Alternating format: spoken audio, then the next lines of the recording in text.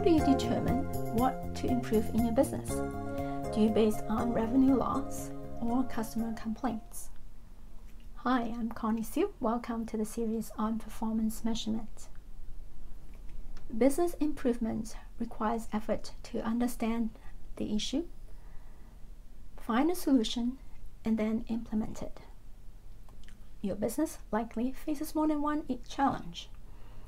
To determine what deserves attention, you need data to gauge how significant an issue is.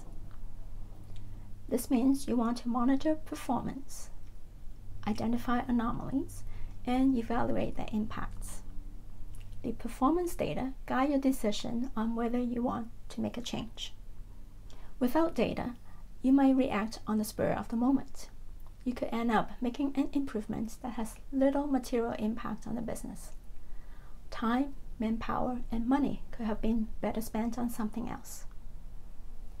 Capturing relevant performance data is the heart of focusing on the right challenge and making improvements that matter.